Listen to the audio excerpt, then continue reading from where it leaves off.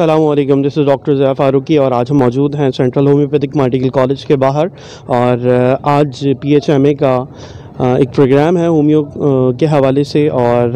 Pakistan homeopathic इनकलाब की पूरी टीम मौजूद है और हमारी नेक तमन्नाएँ मौजूद हैं और, अभी हम लोग चलते हैं अंदर पाकिस्तान सेंट्रल होम्योपैथिक कॉलेज के। Thank you very much